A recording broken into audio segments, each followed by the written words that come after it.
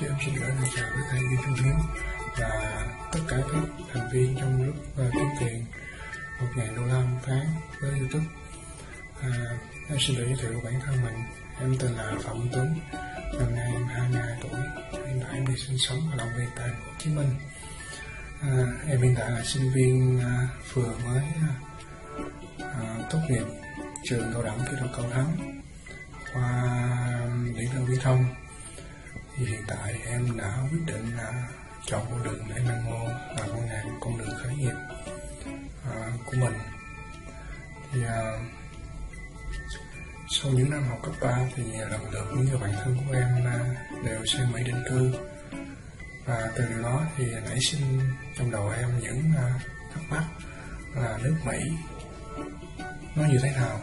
Mà lại có nhiều người sang bên đó định cư như vậy thì thông qua youtube và đặc biệt là cái kênh của thầy Dương Trung Hiếu em đã biết được phần nào về à, cuộc sống Mỹ là như à, có diễn ra như thế nào và văn hóa con người và đất nước phát triển ra sao.